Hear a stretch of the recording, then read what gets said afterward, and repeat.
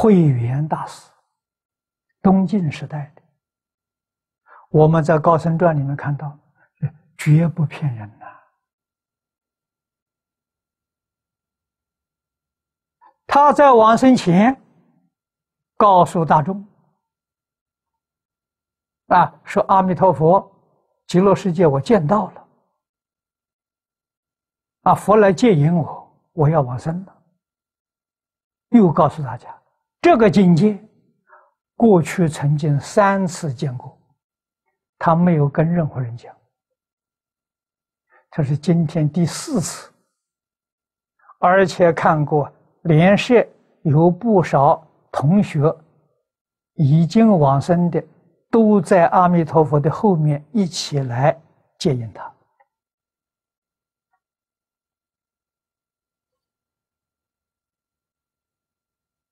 啊，佛法要你亲证才算数吧？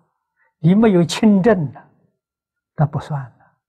那你是道听途说啊，你自己得不到受用啊。你亲自见到、亲证到，你得到受用，你那个信心呢，绝对不会动摇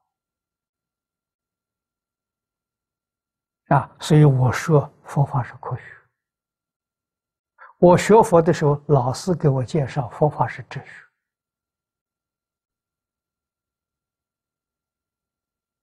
啊。我现在明白了，从理上讲是哲学，从事上讲是科学，而且都是达到登峰造极，达到究竟圆满。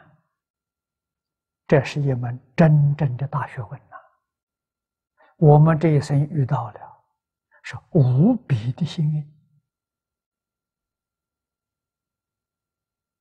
啊！真正明白人，要把这桩事情当做我这一生唯一的一桩大事啊！其他的那叫鸡毛蒜皮啊！啊，天上人间的富贵呀，不可以贪念的。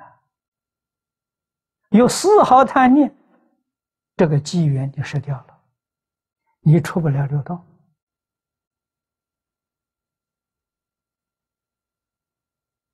啊！那我们想想，我们过去生中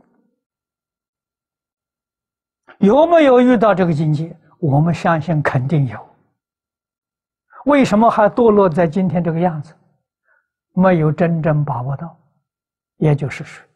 对天上人间的富贵有贪心，有一丝毫的贪心就被他拉回来了。所以佛在经上讲啊，财色名食睡，地狱五条根，只要有一条，